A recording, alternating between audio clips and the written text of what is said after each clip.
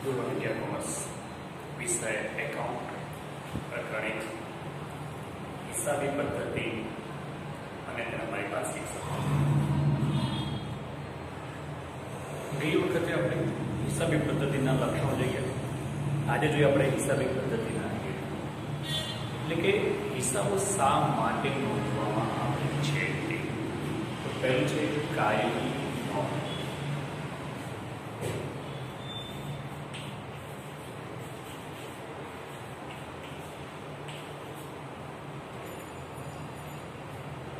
જે કંઈ હિસ્સાઓ લખવામાં છે કાયમ માટે સચવાઈ રહે તે માટે લખવામાં છે. કારણ કે જે કંઈ વ્યવહારો થાય એ યાદ રાખી શકાતા જ્યારે જરૂર પડે ત્યારે તે માહિતી મળી રહે તે માટે તેની સાચવીને નોંધ કરવામાં આવે ખાસ કરીને કમ્પ્યુટરની અંદર તેની નોંધ કાયમી સ્વરૂપમાં કરવામાં આવે છે.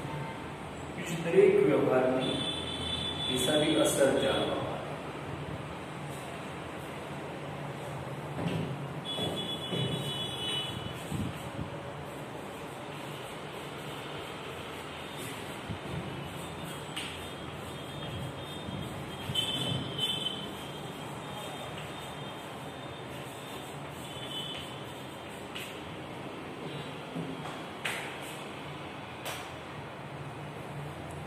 દરેક વ્યવહારની હિસાબી અસર તો અહીંયા આગળ હિસાબો હોય કેટલાક નિયમો ધ્યાનમાં રાખવામાં આવે છે.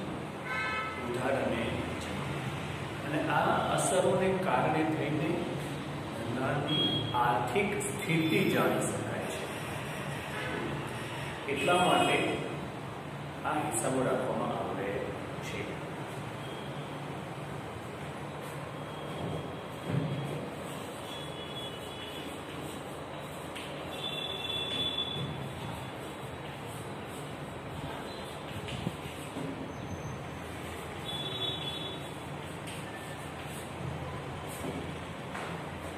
અસર કરતા પરિબળોની જાણકારી. એટલે કે અહીંયા આગળ ધંધામાં નફા કે નુકસાનને કયા કયા પરિબળો અસર કરે છે? ધંધાની આર્થિક સ્થિતિને કયા કયા પરિબળો અસર કરે છે? તેની જાણકારી આપણને મળી રહે. દાખલા તરીકે ખરીદી, વધારે ખરીદી હોય એની સામે વેચાણ પ્રમાણમાં ઓછું હોય તો નુકસાન અંગેની જાણકારી મૂડી અને દેવા મિલકત અને લેણ એને આધારે ધંધાની આર્થિક સ્થિતિ જાણી શકાય છે. કઈ વેળાની જવાબદારી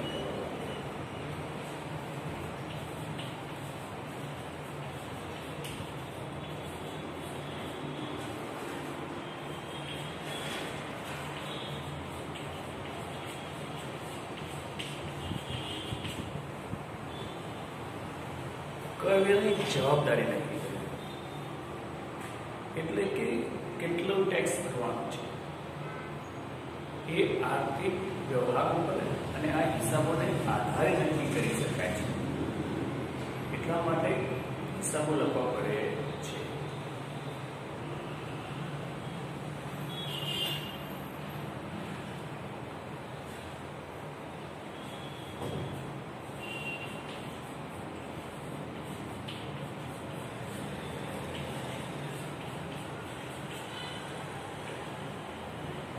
દેવાનું પ્રમાણ જાણવા માટે. તો સૌથી પહેલા આપણને એ ખ્યાલ હોવો જોઈએ કે દેવા એટલે શું?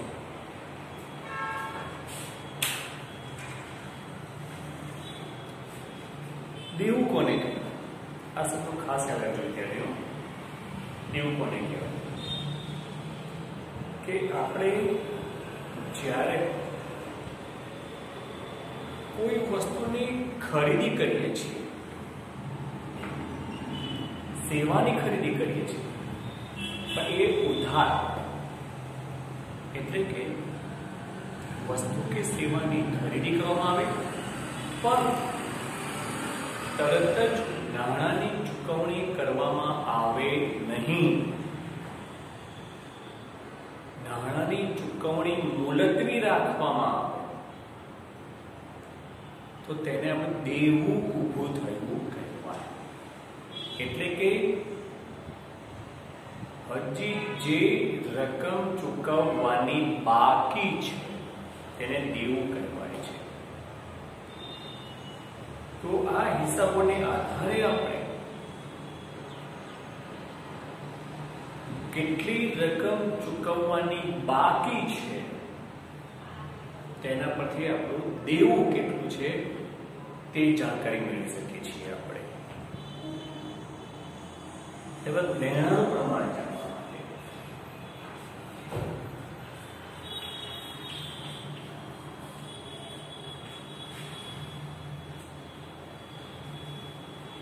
લેણું એવું એટલે ખ્યાલ ને? જે રકમ ચૂકવવાની બાકી છે, તેને દેવા તરીકે કે જવાબદારી તરીકે ઓળખવામાં આવે છે. ખાસ યાદ રાખજો વિદ્યાર્થીઓ, આ દેવું અને જવાબદારી શબ્દ. ખાસ.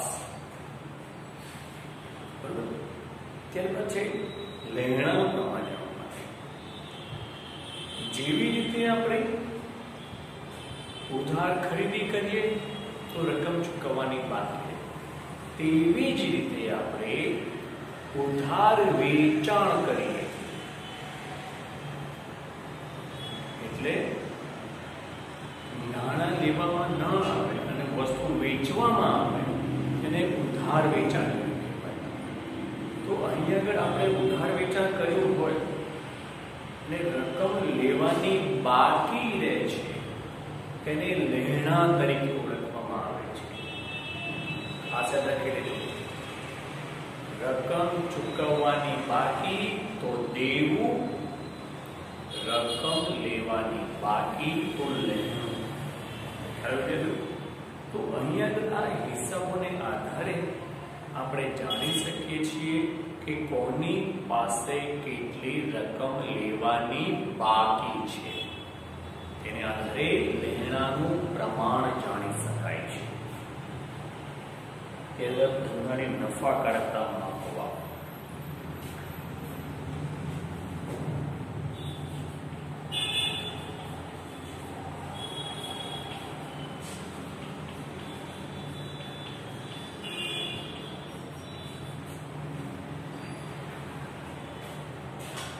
ધંધાની નફાકારકતા માપવા માટે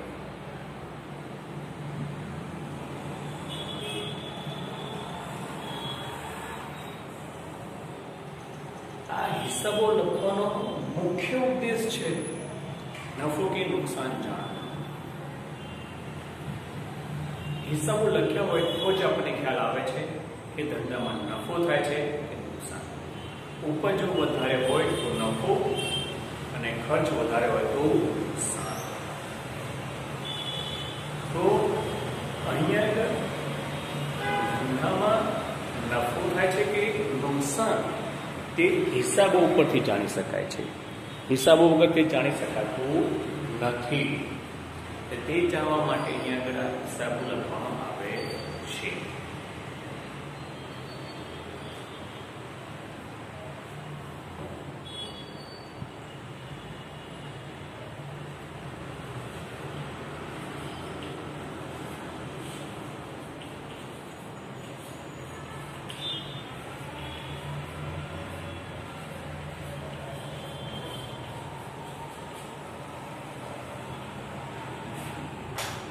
ત્યારબાદ ધંધાની આર્થિક સ્થિતિ જણાવો આર્થિક સ્થિતિ એટલે શું ખાસ યાદ વિદ્યાર્થી આર્થિક સ્થિતિ ધંધાની આર્થિક સ્થિતિ આપણે પાકા સરવૈયા ઉપરથી જાણી શકીએ છીએ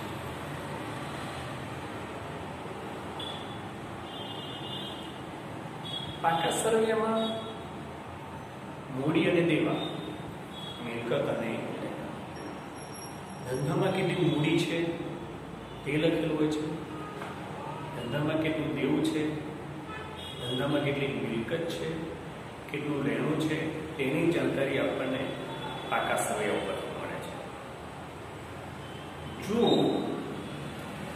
આપણી પાસે મૂડી, મિલકત, શું? મૂડી અને મિલકત વધારે હોય લેણું વધારે હોય અને દેવું ઓછું હોય, તો ધનની આર્થિક સ્થિતિ સારી કહેવાય એને સરળ ઓછું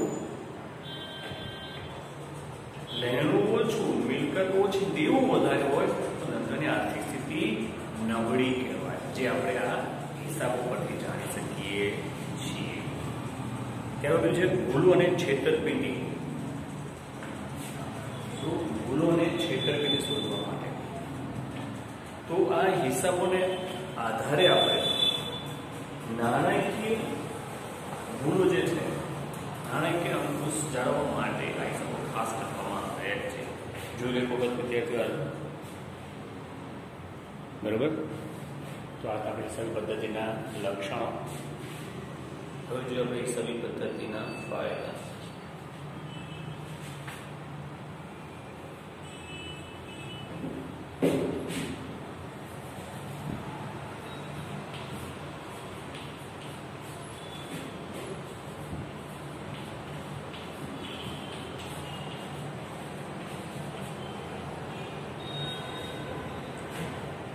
હિસાબી પદ્ધતિના કે હિસાબો શા માટે લખવામાં આવે છે? લખવાથી જે ફાયદો થાય તે તો કે પહેલું છે હિસાબી માહિતીની ઉપલબ્ધતા.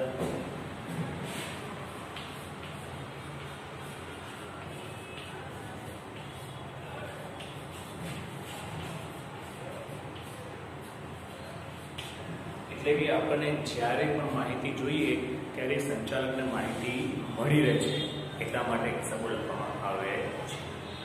નફાકારક ખજાના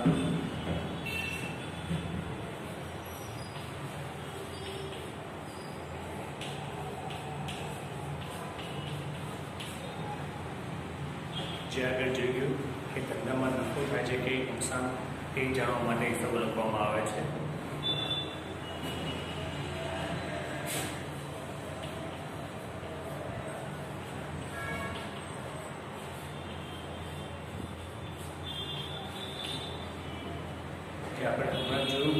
જોયું આર્થિક સ્થિતિ જાણવા માટે.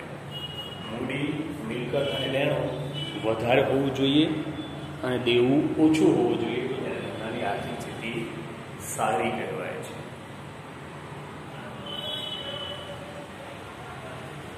કરવેરાનો આધાર.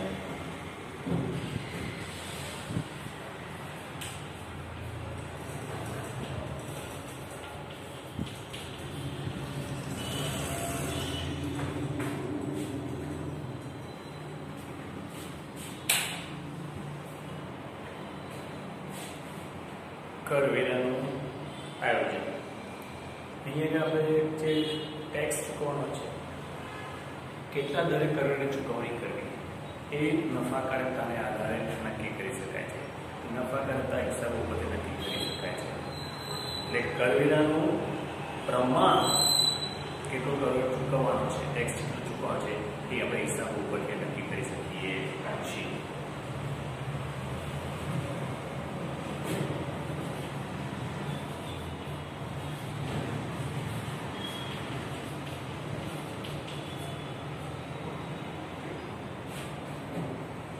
ધંધાનું મૂલ્યાંકન. મૂલ્યાંકન એટલે મૂલ્ય આંકવું. ધંધાની કિંમત નક્કી કરવાની પ્રક્રિયાને કહેવાય છે ધંધાનું મૂલ્યાંકન. તો જ્યારે ધંધાના માલિકે ધંધો વેચવાનો હોય, તો ધંધાની કિંમત એ નક્કી કરવાનો છે. તો ધંધાની કિંમત કેવી રીતે નક્કી કરી શકાય? ધંધાની નફાકારકતા ધંધાની આર્થિક સ્થિતિ, ધંધાની મિલકત, ધંધાનું લેણું, ધંધાનું દેવું, એને આધારે ધંધાનું મૂલ્યાંકન કરી શકાય છે. ધંધાની કિંમત નક્કી કરવા માટે આ બધા પરિબળો હાથમાં જતા હોય છે. એટલે ધંધાનું મૂલ્યાંકન કરવા માટે ખાસ આપણી પાસે આ બધા હિસાબો હોવા જરૂરી છે. બરોબર? ત્યારબાદ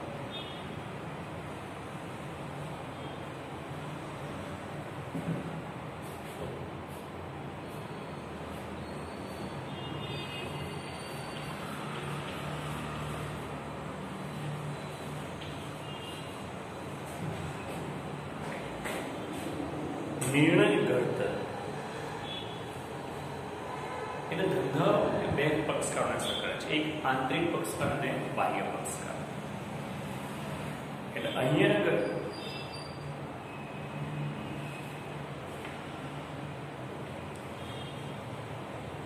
જે પક્ષકારો ધંધામાં રહીને કાર્ય કરે છે, દાખલા તરીકે ધંધાના માલિક, ધંધાના કર્મચારીઓ, એ આંતરિક પક્ષકાર છે. બાહ્ય પક્ષકાર એટલે શેર હોલ્ડર લેણદાર દેવાદાર બેંક સરકાર એ બાહ્ય પક્ષકાર છે તો આ બધાએ ધંધા સાથે કેટલા પ્રમાણમાં લેવડ દેવડ કરવી ધંધા સાથે કેટલા પ્રમાણમાં આર્થિક વ્યવહારો કરવા તે શેના આધારે આ હિસાબોને આધારે. Shareholder. શેર હોલ્ડર એ કયા આધારે કઈ કંપનીના શેર ખરીદવા એ નક્કી કરે? તો ધંધાની નફાકારકતાને આધારે શેર હોલ્ડર નક્કી કરે છે. ત્યારબાદ પુરાવા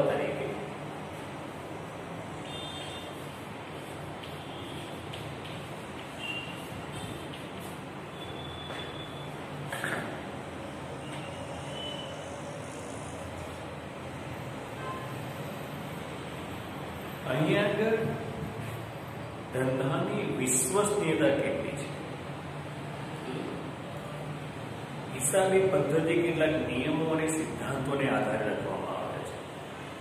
અને તે હિસાબોની વિશ્વસનીયતા નક્કી કરવા માટે ભાગીદારી પેઢીને ભાગીદારોને ધંધામાં વિશ્વસનીયતા નક્કી કરવા માટે આ બધા હિસાબો એક પુરાવા તરીકે સાબિત થતા હોય છે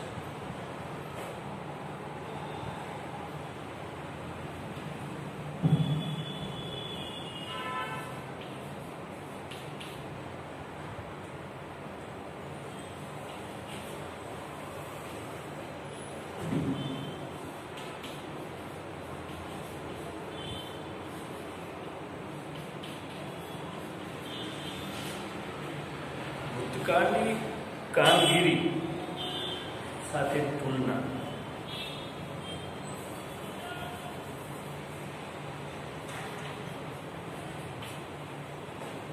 ભૂતકાળની કામગીરી સાથે તુલના કરવામાં આવે છે. એટલે હિસાબી પદ્ધતિના આધારે ભૂતકાળમાં કેટલો નફો હતો, કેટલી મિલકતો હતી, કેટલી દેવા હતા. ભૂતકાળમાં કેટલા લેણા હતા એ અંગેની જાણકારી આ હિસાબો પરથી મળે છે. એટલે ભૂતકાળના જે હિસાબો લખેલા હોય, એને આધારે વર્તમાનની અંદર તેની તુલના સરળતાથી કરી શકાય છે.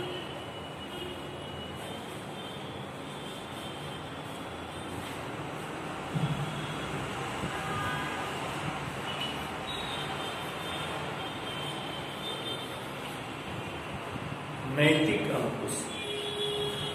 હિસાબો લખવામાં આવે તેથી આપણી પાસે પુરાવા હોય છે. એટલે કર્મચારીઓ ઉપર નૈતિક રીતે અંકુશ રાખી શકાય છે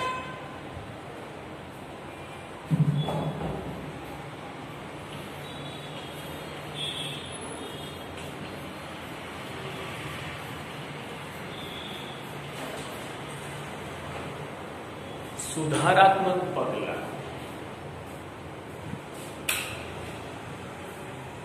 એટલે કે હિસાબો લખેલા હોય ભૂતકાળના હિસાબો આપણી પાસે હોય અને ભૂતકાળમાં જે કંઈ આપણે કર્મચારીઓ કાર્ય કરેલું હોય, ધંધો જે ચાલતો હોય, તેને આધારે વર્તમાનમાં કોઈ સુધારા કરવા હોય, તો હિસાબ ઉપરથી આપણે એની ભૂલો થયેલી હોય.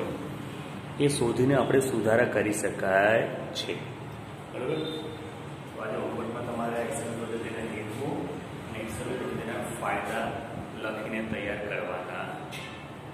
આવતા પીરિયડની અંદર આપણે એક્સેલ પદ્ધતિની મર્યાદાઓ જોઈશું. 等等